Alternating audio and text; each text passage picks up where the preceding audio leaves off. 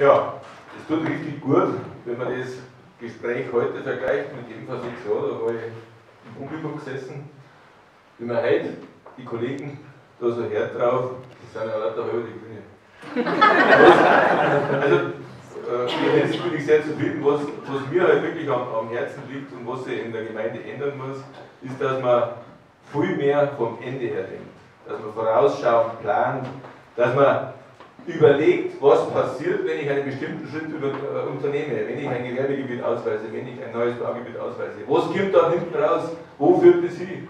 Wie viele Kindergartenplätze brauche ich? Wie muss ich meine Schule entwickeln? Dieses vorausschauende Denken, das geht mir zurzeit in der Gemeinde viel zu sehr ab. Und das ist auch wieder einer der Gründe, warum ich kandidiere.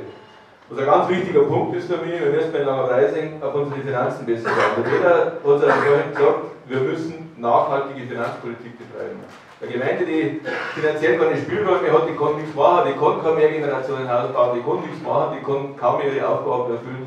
In Langerweising müssen wir die Finanzen, und ich sage es nochmal, durch gutes, nachhaltiges Wirtschaften in Ordnung bringen. Das geht, das machen andere Gemeinden auch, warum soll das nicht schaffen? Und das dritte, der dritte große Punkt, dieser große Punkt, offene Bürgergesellschaft, wir müssen aufhören, in geheimen Gemeinderatssitzungen die Dorfentwicklung zu betreiben. Das ist was, das in der Öffentlichkeit gehört.